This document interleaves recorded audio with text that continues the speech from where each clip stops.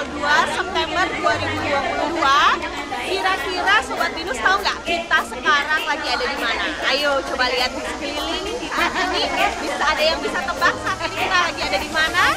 Benar banget. Hari ini kita sedang ada di Desa Selang, Kabian Semal, Kabupaten Badung. Kira-kira kita sedang apa ya hari ini di Desa Selang? Hari ini adalah kegiatan penutupan sudah berlangsung selama empat hari.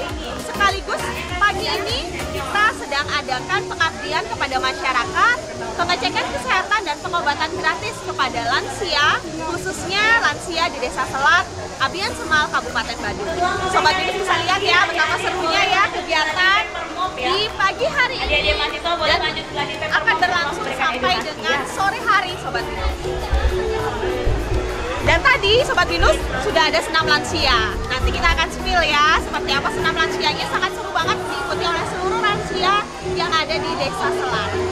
Dan tetap diikuti Sobat Binus kegiatan hari ini hingga sore hari karena ada kegiatan yang sangat seru banget dan kita akan tanya-tanya sedikit pada beberapa orang yang terkait dengan kegiatan ini. Oke, okay, let's go.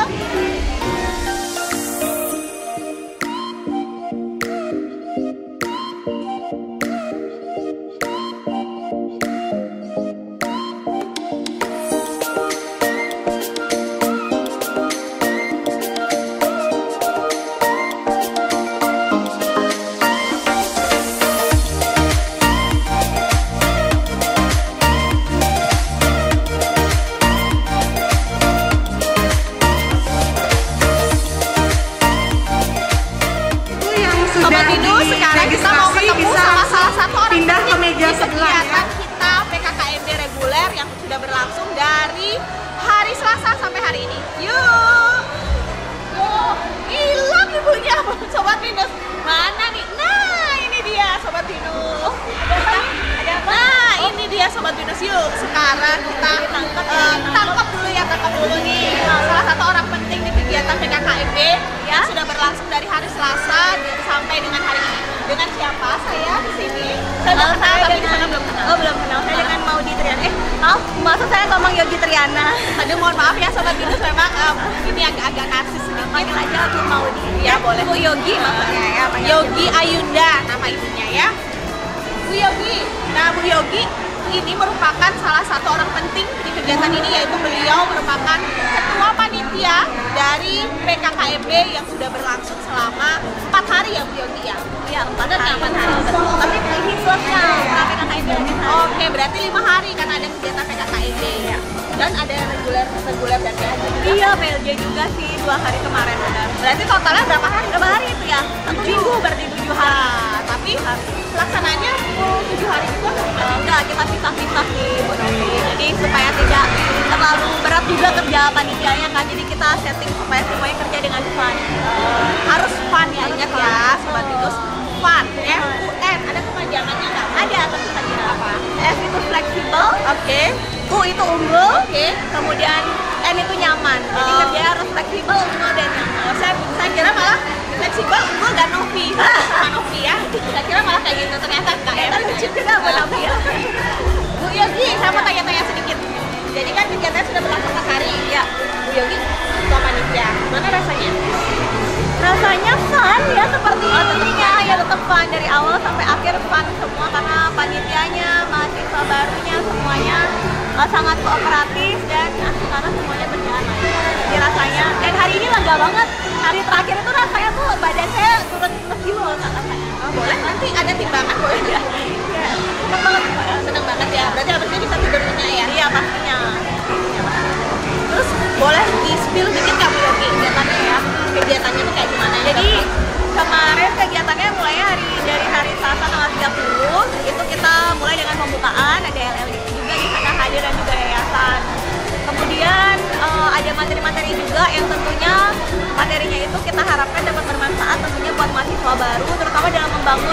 Karakter mereka dan membentuk mereka menjadi mahasiswa yang juga pandai kayak tema kita di generasi pandai dan berkarakter. Wih keren ya itu ya temanya berarti Iya. generasi pandai dan berkarakter. Jadi kita harapkan sih mahasiswa baru nantinya nggak cuma cerdas saja tapi juga punya karakter dengan sikap dan perilaku yang tentunya patut ditiru dan e, menjadi panutan bagi banyak orang. Nah sekarang amin gitu ya iya dan harapannya kan gitu iya betul. Kemudian hari ketiga kemarin seru banget loh Bu Novi. Kemudian saya dipercaya sebagai eh, uh, Yuri jadi mereka kemarin memang nggak salah ya Yogi Ayunda memang percaya sangat sangat jadi kemarin tuh mereka menunjukkan bakat-bakatnya mereka di hari ketiga. Mungkin dilihat diputerin ya kayak gimana serunya. Mereka menunjukkan bakat-bakat mereka uh, yang bertemakan juga dengan budaya Bali dan nanti akan ada dibagikan juga hadiah buat pemenang Wow, Sobat Binus, jadi kalau mau sekolah di Binus nggak hanya dari akademis tapi juga dari non akademis karena ada bakat yang akan dikasih hadiah gitu ya. Iya, jadi PKKMB kali ini tuh agak berbeda karena mahasiswa tidak pelonco saja ya. Nggak ada, nggak ada pelonco, nggak nggak ada. Nggak zamannya dong. Nggak di pelonco. Zaman now nggak ada? PKKMB pelonco. Iya, malah mereka itu pakai baju pantai terus happy happy gitu kemarin. Dan hari ini juga mereka happy happy dengan senam bersama dengan lansia. Jadi hari ini kita ada kegiatan pengabdian juga, teman-teman bisa lihat. Kita mengundang para lansia di Desa Selat untuk dilakukan pengecekan kesehatan dan pengobatan gratis. Terus nanti terakhir eh, ada ada paper mop loh guys. Apa itu paper mop bu? Dijelasin mungkin ada Sobat Binus yang nggak tahu. paper mop ya saya lebih enak bakalan kalian saksiin aja kayak gimana nanti satu angkatan akan membentuk paper mop bersama ya nanti dilihat aja Oke, wih seru banget. Berarti kira-kira hari ini akan berlangsung sampai jam berapa? sampai jam 4 sore aja kok Oh, nggak sampai malam Terus kegiatan sebelum-sebelumnya kemarin dari jam berapa sampai jam berapa bu? paling maksimal sampai jam setengah lima Bu Novi karena itu udah panduan dari LL LL Dikti dan juga Dirjen Dikti jadi nggak boleh lewat Berarti emang PKKMB dari Sikas Bina Usaha Bali sudah sesuai aturan, Aturan. dari pemerintah. Betul. Jadi nggak usah ragu lagi ya. Lagi jumlah mabanya berapa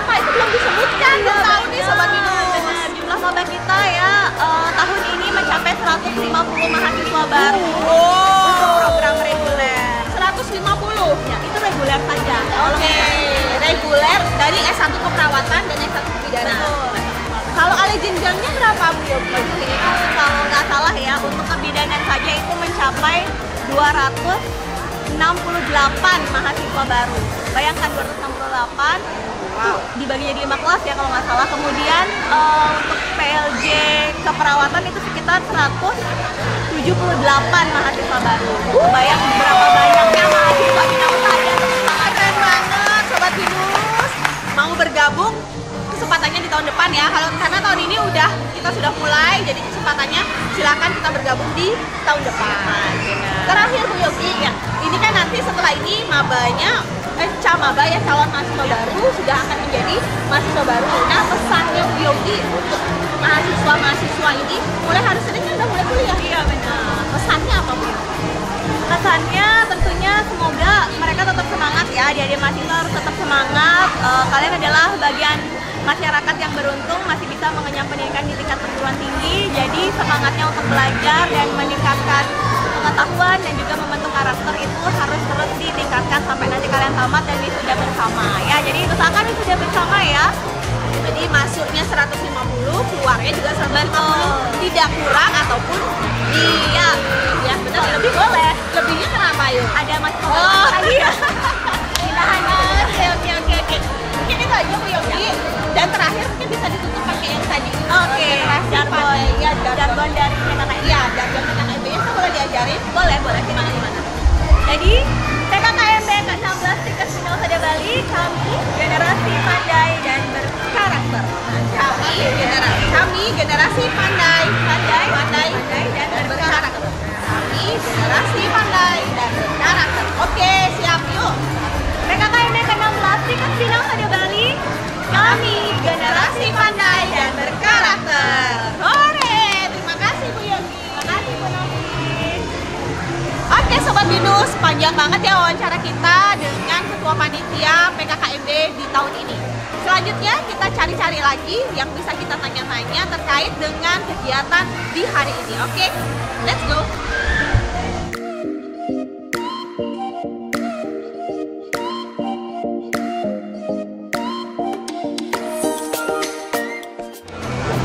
Bisa dilihat ya, sekarang kita lagi ada di suasana pengecekan kesehatan dan pengobatan gratis yang dilaksanakan di Wantilan Desa Selat. Rame banget Sobat Binus. Lihat nih, uh, banyak ada meja-mejanya untuk para lansia dan ini dilaksanakan secara gratis. Antusias lansia sangat luar biasa. Dan kita tanya salah satu lansia yang sudah mengikuti pengecekan kesehatan dan pengobatan gratis di hari ini. Yuk. Yuk.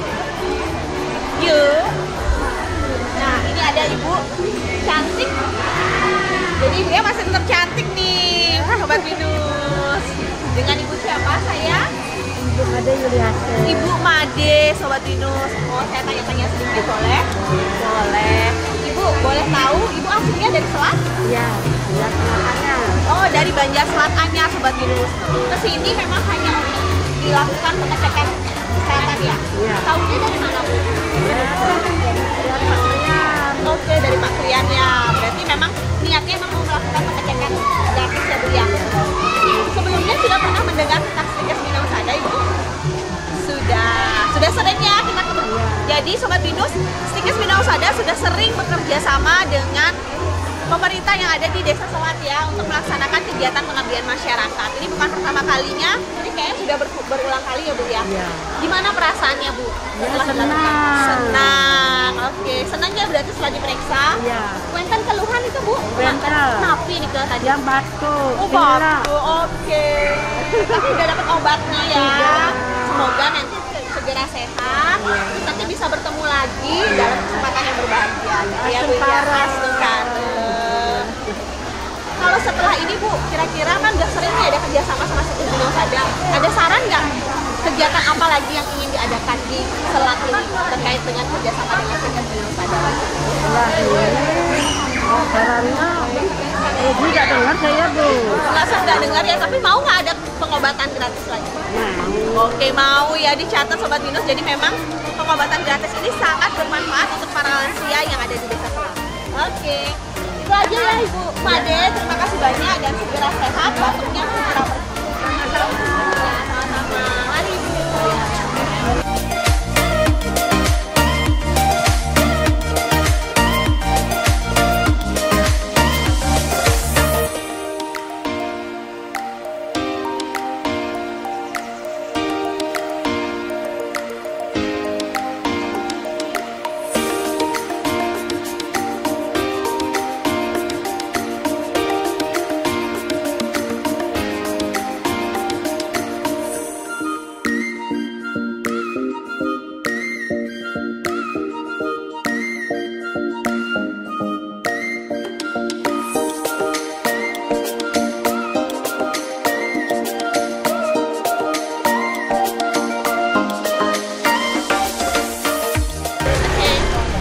Ya hari ini penutupan PKKMB kita ada di Desa Selat Badung. Eh, acaranya cukup padat. Pertama kita tadi senam lansia. Ya seru banget ya Pak ya tadi ya Mahasiswa baru kita ajak bersatu dengan para lansia untuk melakukan senam lansia. Nah kemudian habis itu kita pengobatan gratis Ya. kepada para lansia juga dan masyarakat umum. Kemudian sebentar lagi kita buat MOB. Yes. Jadi supaya kita Oh, iya. nanti shot dari atas kelihatanlah kita stiker Binau Sada atau merah putih. Biar makin jaya Sikas Binang Sada ya, Pak. makin, jaya. unggul dan makin terpercaya unggul dan terpercaya. Di darat, laut, dipercaya, udara ya Pak ya? Ah, darat laut udara. kita dipercaya oleh masyarakat. Nah, kepercayaan ini kita harus pegang supaya kita terdorong atau termotivasi untuk terus membuat sekolah kita berkualitas. Karena kepercayaan masyarakat ini sesuatu yang bernilai. Jadi untuk meningkatkan nilai terus, kita memang kerja keras, kerja cerdas, membuat kampus kita semakin unggul. Sehingga semakin dipercaya oleh masyarakat. Oke, sampai jumpa di PKKMB. Ya. Terima kasih adik-adik mahasiswa, selamat datang dan selamat bergabung di Stikers Bina Usada. Jaya kita bersama. Unggul Unggul, Dan- unggul dan dan terpercaya. terpercaya.